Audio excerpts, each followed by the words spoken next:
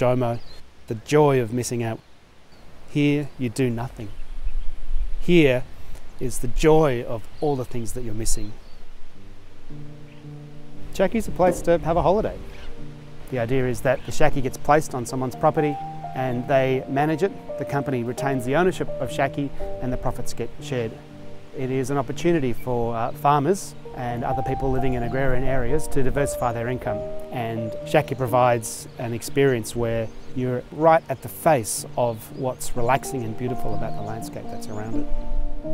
Shacky is uh, seven metres long, two and a half metres wide and 3.3 metres tall. These dimensions are to allow it to be towed easily without excessive amounts of permits and also to make sure that the experience of it is intimate.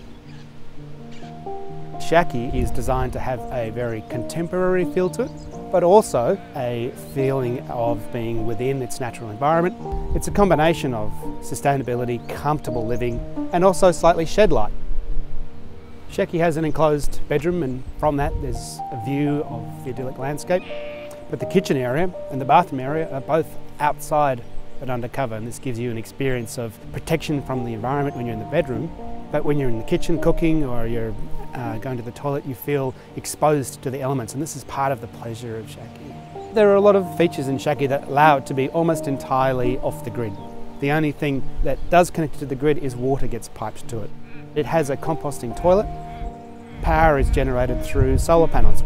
We've gone out of our way to make sure that there are no power points in the Shacky. There is a USB charger so that you can charge your phone, so you can take photographs because if it's not on social media it didn't happen. But the idea is that you can't charge your laptop here because if you're coming here you're coming to get away from the responsibilities of work. One of the things I love about staying here is the experience of lighting the fire and huddling around its warmth. I like the idea that potbelly stove is the bush TV. You're sort of camping, but just a little bit more high end than that. Chopping the wood and lighting it is a slightly primal experience. It's very enjoyable. There's no reception here.